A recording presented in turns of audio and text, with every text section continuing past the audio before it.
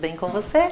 Eu espero que sim. Meu nome é Jaqueline e hoje eu vou te contar algo maravilhoso que aconteceu em uma das minhas aulas.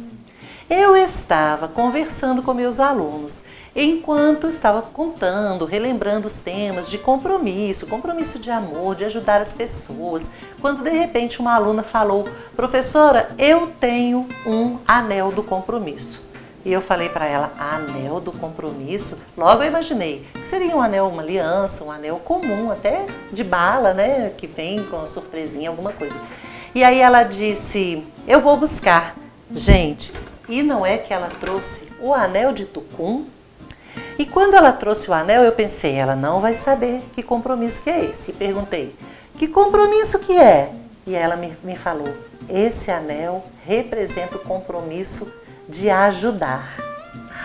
Que fantástico! Então, eu preparei uma aula contando para eles o que é o anel de Tucum, por que, que ele existe, qual é o significado desse anel. Há muitos anos atrás, quando os reis gostavam de se arrumar muito, de colocar anéis e joias e tudo com muito ouro e muita riqueza, as pessoas mais pobres que trabalhavam ali, até mesmo no castelo, é, cuidando de tudo, eles não tinham dinheiro para se enfeitar, mas eles também gostavam de é, se arrumar, festejar as suas é, comemorações, enfim.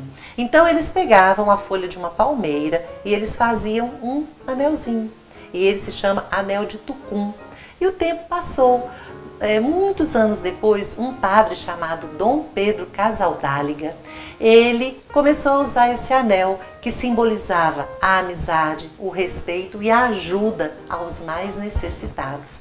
Então, é, esse anel passou a representar realmente as pessoas que ajudam e cuidam dos mais necessitados. Você quer também fazer com a gente um anel de tucum? Foram meus alunos que me deram essa ideia. Olha só. Pegue um pedacinho de papel, uma tirinha de papel, meça aí no seu dedo, o dedo que você escolher para usar esse anel, e aí passe um pouquinho de cola e você vai formar o seu anel. Depois você pode escrever nele qual palavra que é, é a palavra que representa esse anel, o anel de Tucum. Ajudar? Eu coloquei ajudar. Você pode colocar a palavra que você quiser. E se sobrar um pedacinho de papel, que tal você fazer uma pulseirinha também? E aí nós vamos juntos brincar de anel de tucum. Esse é um trabalho para que você possa fazer o seu compromisso de ajudar. Por hoje eu fico por aqui. Obrigada.